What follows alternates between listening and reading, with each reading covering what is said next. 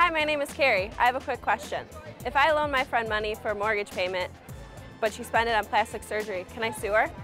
That depends, Carrie. If you made paying the mortgage a specific condition of you giving her the money, then you can claim she breached your contract. Otherwise, she was entitled to use it any way she chooses and is only liable to you if she failed to pay you back as promised.